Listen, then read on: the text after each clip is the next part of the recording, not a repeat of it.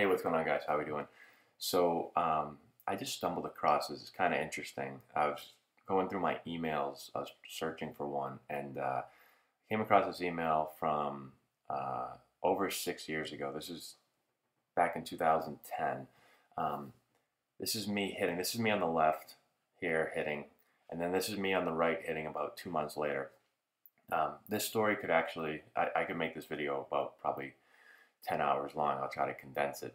Um, the reason I'm throwing it up here, for one, I just found it, and for two, you know, I talk to people all the time, and they, and we've talked about this before. They have this idea that, um, you know, everything is just uh, God given, what you're born with. It's really hard to change anything. You know, you can't go crazy with swing mechanics because a guy swings the way he swings, and and blah blah blah. Well, if you follow my career at all, um, again, this could take a really long time. I'll try to condense it as much as possible.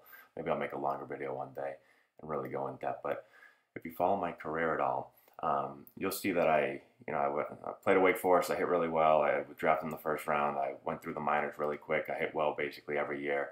I got the AAA, um, and my swing all of a sudden really changed for a, a, whole bunch of reasons. Too many reasons to go into. But, anyways, if you look at my numbers in AAA, they're really, really poor.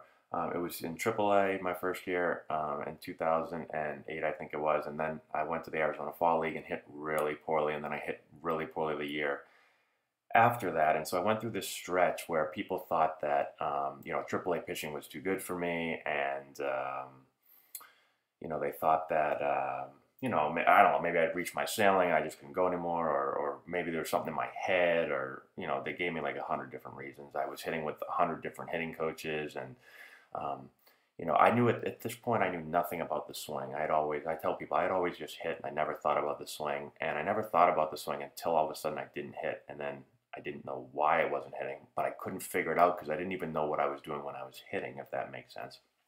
Um, and so, um, so I, these videos basically, this video, this is like right when I tried to, I, I basically had to figure out what was going on, and um, you know, again, long story short, short uh, one of my buddies, Sean Wooten, who is now um, a coach with the Dodgers, um, very good hitting coach, probably the best hitting coach I've ever come in contact with.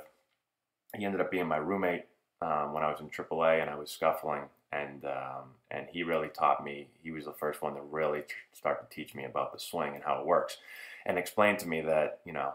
Uh, yes, I might have been a good hitter and I'm a good athlete and blah, blah, blah, but my swing had totally fallen apart and totally changed and I wasn't going to be able to hit the way I was hitting. And there's, you know, there's certain key principles or, or um, you know, core things that you have to have in your swing if you want to hit. And he really was the first one to teach me. So, again, without going too crazy, I want to show you this video because um, here I am on the left. This is how I was swinging. Um, when I was really struggling. And I look back at it now that I know, you know, now I can look back at all my videos and be like, oh my God, what was I doing? How did I ever get into these habits? How did my swing get like this? Um, and, um, but the crazy part is at the time I was doing it, I didn't know it looked any different because it felt the same. And, uh, and I didn't know enough about swings to even be able to tell the difference. So take a quick peek. Watch my swing on the left here. This is this swing right here will, will get you to hit about two, 200 Actually, probably about 150 in AAA. The only reason I finished at like 230 is because I started to change some things. Um, but so here it is. This is my swing um, when I was struggling. Let me go back a little bit. Here's my swing hitting off the tee when I was really struggling. Well, hold on, let me see. It's a little tough because I just watched the one on the left. So, you know, horrible swing. nothing, my swing looked nothing like this my my years in college or my years, um, especially my early years in the minors when I really started to hit the ball really well. Um, but here's my swing. You can see it's a really, you know, high hands, really pushing down to the ball. This is kind of what happened when I started to struggle, and more and more people started to tell me, use your hands, you know, down to the ball, you know, all the stuff that you you hear all the time. And so I really started to push my hands. I had zero power. I lost my ability to drive the ball. I hit 20, 21 home runs a season or my single A, double A season, and I hit like seven, I think, in triple A. Um, you know, really on my front foot. I'm not staying behind the ball. I'm really, you know, my weight is really pushing, really pushing over my front side. So I don't really have any leverage or anything. There's no whip to my bat. Um, you know, I hit a lot of ground balls to the left side. I hit a lot of weak pop ups to the right side. I really sliced the ball out. My bat wasn't in the zone at all. It wasn't in the zone early. I'm really, you know, my back gets in and out of the zone real quick. It really enters the zone really late. Um, and the hitting, hitting area way out front. So I couldn't hit anything the right field hard. Um, you know, it's just, it's really, really poor, as you can see. Um, so the swing on the right is actually not that, not that um, much in the future. It's probably a couple of months. I, I literally had to work like, you know, every day breaking my swing down. I, I actually, I worked with uh, Sean, who I talked to about earlier. We worked on online, so I would send him my videos. He lived um, at the time. He was, well, he still does in, in, Minnesota. So I would hit and I'd send him the video, and then he would uh, break it down and basically tell me what I should try to do.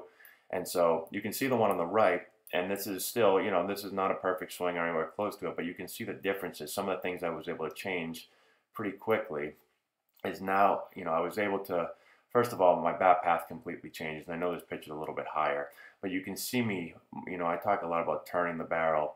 Um, you can see the difference in the way I'm swinging, how I'm rotating, um, versus the one on the left. Again, if you kind of put your eyes back and forth, if you go to the one on the left, again, you can see there's, I'm, I'm, I'm not rotating at all. I'm trying to push my hand down and at the ball I'm trying to keep my front shoulder on the ball because that's what I was being told by a lot of coaches. Stay on the ball, you're pulling off the ball.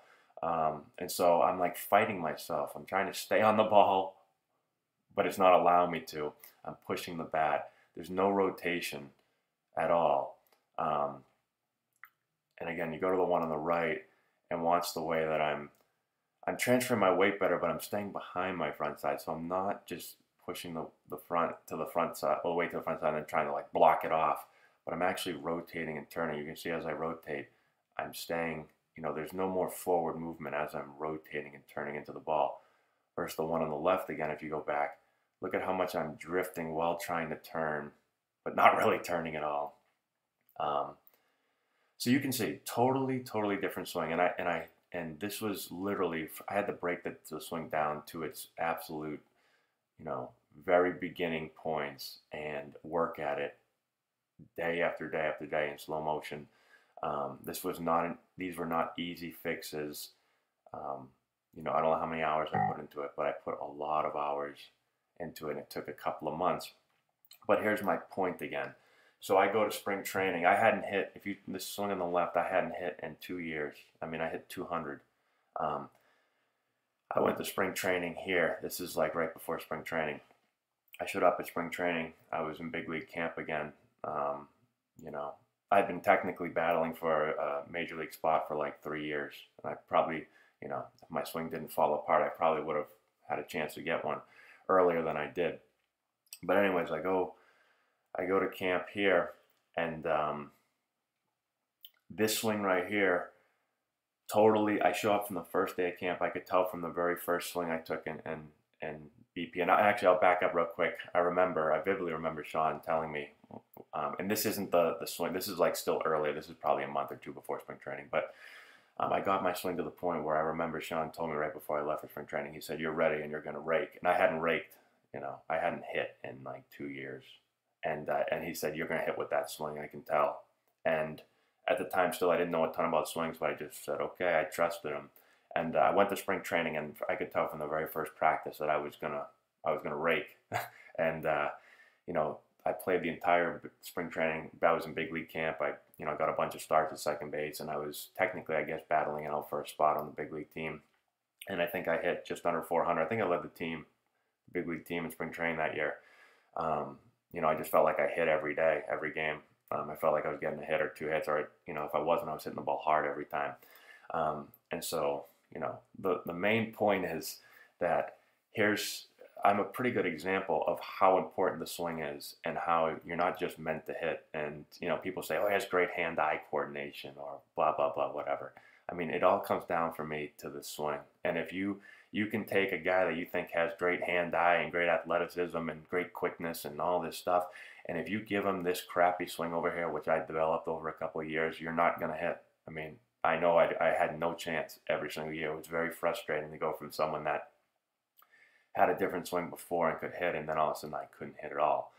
Um, and then you take the same person. I didn't change anything. I was the same weight. I was the same strength. I didn't have eye issues. I didn't have nothing changed. I just changed my swing. I changed the way I moved my body, which in turn changed the way the bat came through the zone, and that gave me the ability to hit all over again.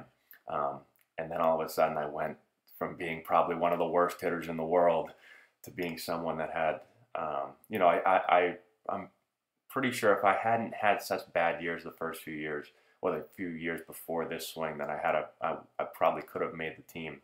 And if it was based just on hitting ability, I think I hit the ball well enough to be able to make the team. Um, but again, I ended up not making it. I actually broke my hand um, a week before the season in 2010 started, and I missed the entire season with a broken hand and uh, and two wrist surgeries. So I missed all of 2010. But then in 2011, if you look, I came back with a pretty similar swing because I'd finally learned how to swing the bat. I learned what I was trying to do. And uh, I, I switched teams. The Padres uh, designated me for assignment, I think it was, or non-tendered me actually. And, uh, you know, I missed the whole 2010 season. I was on the big league roster the whole year. but I didn't play a single game. Um, and so I got non-tendered, and uh, which made me a free agent. The Nationals signed me, and I went to AAA with the Nationals. I ended up hitting you know, I made the AAA All Star team. Thought I was had a chance to get called up, and ended up hitting 300. Um, ended up hitting double digit home runs, I believe, and I, I still ended up missing like half the season again because I, I had another wrist surgery, and that was kind of you know that I ended up having wrist surgeries basically every year for the rest of my career until I stopped playing. But um, you know, once I got this swing back, all of a sudden I really started to hit again, and um, and the crazy part is people still thought that, you know, I, it was something in my head and it must have just gotten out of my head one day and, and I, I gained my confidence back and I, I became a good hitter again. Um, and not many people could realize that it was a total swing change. I basically blew up my swing, built it all over again. And so the ability, you know, I already said this, but I'll end it with this again.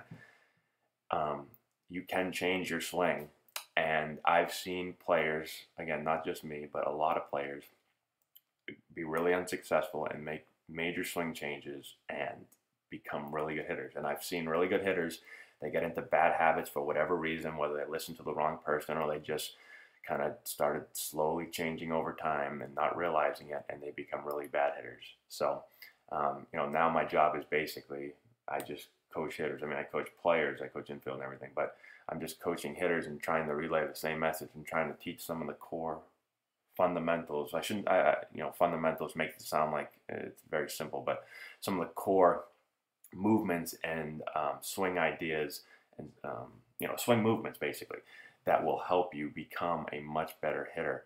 Um, because, in all honesty, most hitters I see at younger levels are being taught more like this swing over here on the left. These are the things that a lot of players are being taught and then players are unsuccessful and they're saying, Why am I unsuccessful? I don't understand. I'm doing everything I'm being told. It's because they're getting bad information. Um, and so, um, you know, the, again, my swing is not perfect over here, but a lot of the things that I was working on are some of the things that I think help players be successful and give you a chance. And then if you happen to be, you know, if you happen to have good hand eye, as they say, and you have, you know, it's not just a swing obviously it's, it's some other things but if you if you have some of those things and then you can put a really good swing together you have you have a chance to play at a really really high level. Um, and even if you don't have some of those natural things if you have a swing that gives you a really good chance to hit helps you increase bat speed and the path of your bat and you know all that stuff that we've already talked about now you have a chance to be a really really really good hitter. So let me know if you have any questions. I know it's kind of a long story. I could have made it about 10 hours longer because it's, uh, it's actually kind of interesting, I guess, to, to kind of look through um, my swing changes and how everything, you know, how my career went up and down and, and, uh, and stuff like that. So let me know if you have any questions. Share the video with all your friends. Subscribe to the channel. Um, comment in the section below, all that good stuff. And we will talk to you later.